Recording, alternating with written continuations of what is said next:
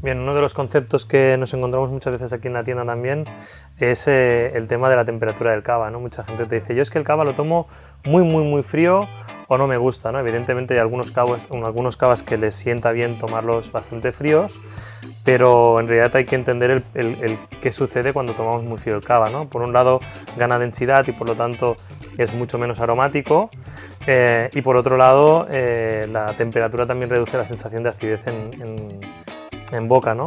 Esto es importante en algunos cavas, pero cuando hablamos de según qué tipos de cavas, que son la mayoría, que están bien elaborados, no, es, no, es, así, ¿no? Como por ejemplo sí, por este ejemplo, este cava, el Amor de Verdi, es un cava que no es nada ácido, eh, está elaborado con las variedades típicas del cava Chareluma Cabe Parallada y lleva una puntita de garnacha tinta. Entonces, si lo tomamos demasiado frío, por una parte nos vamos a, perder esas notas cremosas eh, que nos puede aportar y además nos perderemos esa nota aromática de fruta roja que es súper agradable.